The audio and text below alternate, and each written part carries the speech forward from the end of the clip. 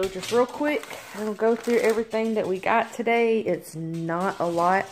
Um, a bunch of the stuff that I had for last week we didn't eat because we ended up um, going to my mother-in-law's to eat one night and then my mom took us out to eat dinner. So two nights of meals are still in there and only buy for a week at a time. So this is just what I picked up. Um, a staple in our house is Oreos. We all like them. Um, another staple is olive oil. We ran out of coffee, so I just grabbed this 100% Colum Colombian. Um, this is what we had the last time and we really liked it. Um, three things of juice. This one is orange pineapple apple, strawberry raspberry, and then just strawberry lemonade. I got a couple of things of paper towels and a small thing of tissue because we still have a couple of rolls. Um, and then I picked this up. Um, I would like for my kids to eat a little bit healthier, but they're not adapting to how I want them to eat. So I'm trying to still give them the things that they like, but maybe a little bit healthier. So I just got a couple of those for some lunches. Um, I got these gummy snacks. Um, it says, you know, there's, they're, I guess, better than some other kind that I could have got. But I got two boxes of those. Some powdered sugar for baking with the kids. I got some rice. They all wanted this little Bean Boozled pack, so we got this. Um, I got some granola bars. These are really good.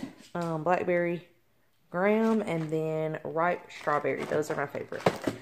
Um, I picked up some green tea. I've never tried this kind before, so we'll see how that goes. Um, I got a pizza for myself because um, I'm going to have my husband pick up pizza um, one day next week for dinner.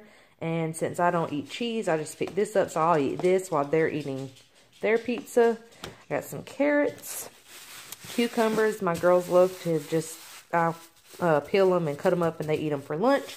Avocados for lunch. I got some apples, tomatoes. Um, I got these for my lunch during the week. I'll just do some different things with them. Eat them on a sandwich or cut them up and uh, eat them in a salad, something like that. I got some Go Veggie cheese for myself. And then I got them some uh, Colby Jack slices.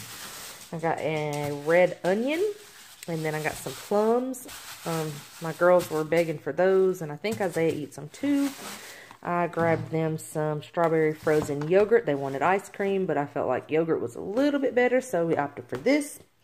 I got some lunch meat, because we're going to have uh, sandwiches and chips. There's the chips. We're going to have that for uh, dinner one night.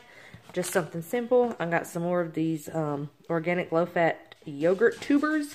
And like I said, in almost every video that I've done, they always have them on the um, on sale because they're about to go out, but I popped them in the freezer and they're good to go. And then I got this Almond Dream Cappuccino Swirl, and it uh, is almond based, so it shouldn't have any dairy, non-dairy frozen dessert. That's mine. And then this huge thing of ranch was on sale for $3.99. They're usually like double this. And I don't know if it's because it's about to go. It says uh, March. Yeah, March 22nd, I guess. So we'll probably use that before then. Um, then I got some unsweetened almond milk. Already showed you those. I got some potatoes for some potato soup and different things like that. And homemade french fries. And uh, we also do baked potatoes with those for lunch sometimes. Just pop them in the microwave. And then I got some bread for like peanut butter jelly sandwiches for lunch. And for our sandwiches that we're going to have. And I believe that is all. So that's our little grocery haul for this week. And it was all under a $100. And I'll put a picture of um, my receipt in there. But that's all that we got.